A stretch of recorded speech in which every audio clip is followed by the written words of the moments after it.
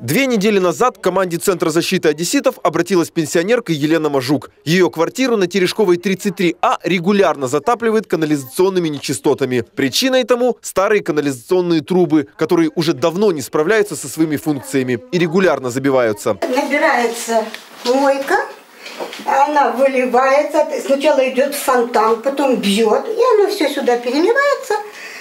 Если на работе, вот я 9 числа меня вызвали в час дня, я приехала по щиколотку, я тут плавала в нечистотах. Начиная с верхних этажей, кто пробивает, кто пантусом эту жировую пробку проталкивает, она застывает. А у нас, они сказали, дом старый, и вот эти вот канализационные трубы, они узкие. Коммунальщики о проблеме знают. Елена Семеновна не раз писала заявление в ЖКС «Черемушки» на имя директора Юрия Панкова. Однако просьбы одесситки остаются без внимания. Когда-то они прочищали стояк канализацию, начиная с чердака и до подвала. Сейчас они не хотят это делать. Для того, чтобы заставить коммунальщиков вспомнить свои прямые обязанности и прочистить канализационные трубы как положено, правозащитник Егор Прокопчук совместно с пенсионеркой направились к неконтролирующему работу подчиненных директору ЖКС «Черемушки» Юрию Панкову. Однако в очередной раз в приемный день его не оказалось. Пообщаться удалось лишь с заместителем Оксаной Белюченко. В обратную сторону идет вода из раковины на кухне. То есть постоянно звонит в ЖЭК и ходит. В квартире канализация да, поднимается, поднимается в... Э, в кухне, забивается кухня, канализация. Ну сейчас забита? Я же вызывала аварийку, прочистили, сейчас запито. Я прочищала, платила деньги. Оксана Беличенко по телефону связалась с начальником третьего участка Юрием Марциненко, который ранее проигнорировал обращение пенсионерки. Вы должны были в пятницу быть там и прочистить стояк еще раз. Завтра обязательно с утра направь туда сантехников, пусть они пойдут туда со старшим мастером. Там есть несколько ревизий. На девятиэтажках э, там, по-моему, три или четыре ревизии. Вот прочистите сверху одна ревизия, потом найдите, где следующая ревизия, прочистите и пройдите весь стояк до, до подвала. Вот вы умничка.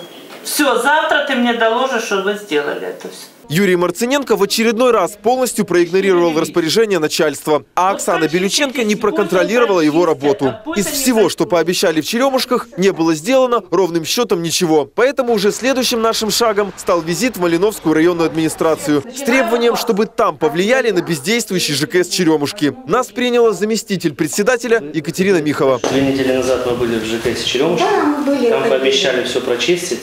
На следующий день пришел сантехник, выпил, вылил стакан воды в раковину и сказал, что у вас как-то. А я вот иду на работу и не знаю, что меня э, дома будет ожидать, когда я приду домой. Я разберусь с вашей ситуацией. Спасибо. Все, Спасибо когда, большое. Когда примерно кисло? Я не могу сейчас сказать. Ну, когда вы выйдете посмотреть? Ну, я всегда сразу выхожу. Я же никогда не затягиваю. Мне надо будет вызвать службу специальную, мне надо будет людей вызвать, правильно? Ну, Естественно, это будет не через месяц. У меня таких сроков в течение недели будет. Да, конечно. Центр защиты одесситов обязательно проверит, сможет ли Екатерина Михова помочь пенсионерке и, наконец-то, заставить своих подчиненных из ЖКС «Черемушки» работать.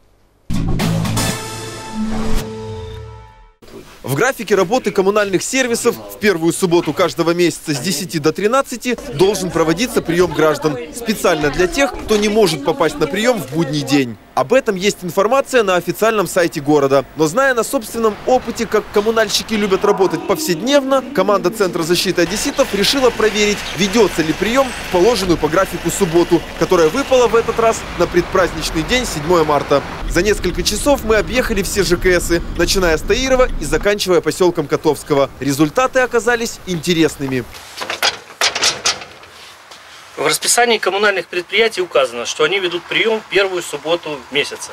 Центр защиты одесситов решил проверить это. Э, ЖКС Черноморский, 10.30, закрыто, никого нет. В коммунальном сервисе Вузовский, куда мы направились вслед за Черноморским, в отличие от предыдущего учреждения, прием велся как положено. Правда, не директором, а главным инженером. Просто заглянули проверить приемное время, кто есть из руководства. В Черноморском пусто, у вас главный инженер. Следующим ЖКСом стал один из самых печально известных в городе – Черемушки. На официальном сайте города указано, что ЖКС Черемушки работает первую субботу месяца тоже. Почему-то Юрий Панков у себя отменил это правило. Почему так? Юрия Панкова, естественно, на месте не оказалось. Однако, к большому удивлению, прием все равно велся. Добрый день, здравствуйте. Проверяем, как ведете прием первую субботу месяца. Все, заместитель в Черемушках на месте. На месте, все в порядке, работаем. В ЖКС Фонтанском мы застали только секретаря, которая попыталась уверить нас, что в связи с предстоящим праздником прием переносится. Кто на приеме? Что это вы выходной день? А сегодня приемный день, А первая вы суббота. не читаете указы, что суббота, воскресенье и понедельник выходные Нет, мы не читаем. Мы знаем, что переносится обычно выходной день, переносится Нет, на первый рабочий. показать. Покажите. О том, что прием переносится, жителей обязаны были предупредить объявлением. Однако ни в одном из восьми ЖКСов мы его не увидели, так же, как и самого распоряжения об этом. В течение 10 минут секретарь не смогла найти документ. Я точно помню.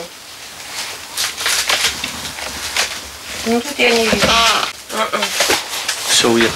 Не удалось никого застать на приеме и в коммунальном сервисе Хмельницкий. ЖКС Хмельницкий закрыт, никаких объявлений, ничего нет. Едем дальше. ЖКС Портофранковский впервые за два года удивил нас. Правда, не грандиозным результатом проделанной работы, а присутствием в приемную субботу на рабочем месте директора Виктора Страшного. Мы просто проверяем прием первую субботу месяца. Вы первый директор из шести ЖКСов, который оказался на месте. То вы говорите, что я всегда бестолковый. Нет, мы, мы не врем, мы говорим, мы говорим правду. Также приятно удивил коммунальный сервис Пересыпский. Здесь, помимо заместителя, был и сам директор Иван Казаченко. Добрый день. Центр защиты одесситов. Проверяем, как ведется прием. Нормально идет. Я смотрю, что у вас все на месте. Да, да, да. В отличие от коллег по Суворовскому району, не удалось застать никого из руководства в ЖКСе Северном. Здравствуйте. А кто из руководства, скажите? Только что директор уехал в администрацию, что вы хотели? Нету ни зама, ни директора. Нет. Просто с- сейчас приемное время, так суббота я- месяца. я принимаю. А вы кто? А я начальник отдела. Ну вы не заместитель. Нет, не заместитель. Результат проверки нас удивил. Виктор Страшный и Иван Казаченко оказались на своих местах. Хотя второй крайне редко бывает на работе в приемные дни. Подозреваем, что присутствие начальства в кабинете в первую субботу было связано с предпраздничным днем и некими корпоративными мероприятиями. Через месяц, в первую субботу апреля, Центр защиты одесситов снова проконтролирует работу ЖКСов города. По результатам нашей проверки оказались закрыты ЖКС Черноморский и ЖКС Хмельницкий. В ЖКСах Фонтанском и в ЖКСе Северном не оказалось руководства ни директора, ни замов на месте. Почему сложилась такая ситуация? Ведь это единственный день, когда одесситы могут уделить время своей проблеме.